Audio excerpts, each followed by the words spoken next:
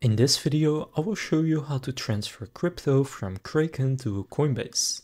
So first what you want to go and do is open up the Kraken app. Then here go and click on withdraw. Now here you will see all of your assets. Now in this case I only have Bitcoin, so therefore I will select Bitcoin, but just select the cryptocurrency that you want to withdraw or transfer from Kraken to Coinbase. Then here you can choose the network. Now before you select this, just go to Coinbase and then once you're in Coinbase, what you want to go and do is here click on transfer, then here click on receive crypto, then here select the same cryptocurrency, so in my case that's Bitcoin. Now here you can see all the networks, so in this case on Kraken they had Bitcoin and Lightning, and here they also have Lightning and I want to use that one, so I'll click Lightning, then click continue, then it will say what it is, but it doesn't really matter.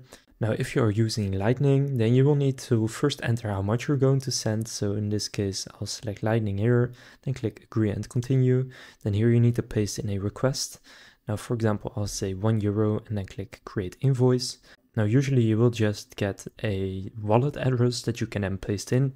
If you are using Lightning, then just copy the Lightning invoice. If you're using something else, just select the network and copy the wallet address.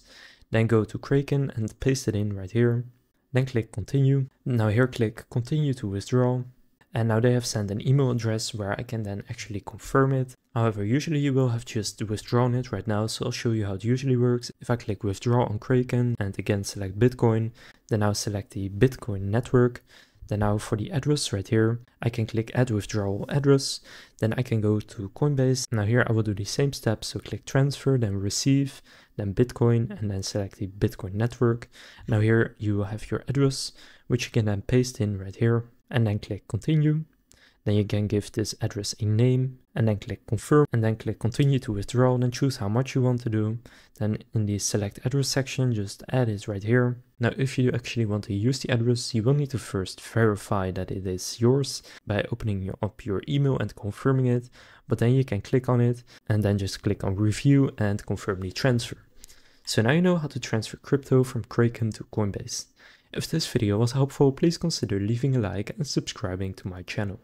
With that being said, I will see you in the next video.